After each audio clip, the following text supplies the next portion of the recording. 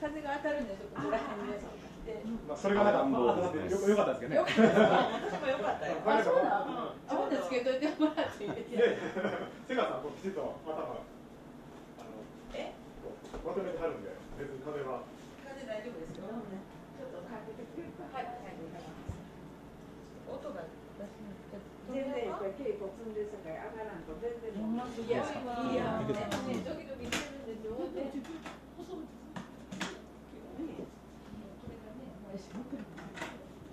これは私のはすごい神経臭いのですよ。あの地歌になるさかいあねこれあのほんまの古典中の古典やから寝ない。寝寝ますえ大事な人が見たら良さが分からない分からないと思う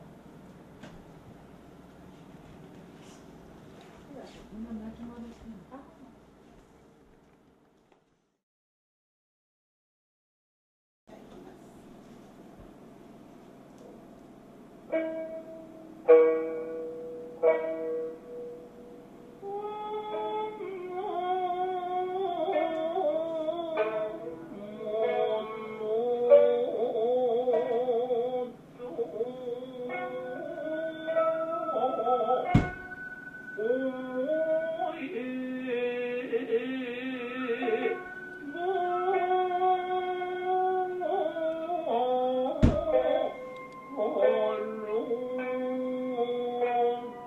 Thank you.